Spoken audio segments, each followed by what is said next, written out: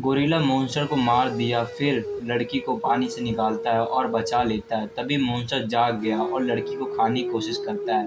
फिर monster gorilla का हाथ खाने ही वाला होता है। तभी गोरिल्ला मोन्स्टर की पूरी जीव निकाल दिया और मोन्स्टर को मार दिया। गोरिल्ला लड़की को बचा लेता है और उसके साथी के पास छोड़ देता है और हमारा हीरो गोरिल्ला चला जाता है।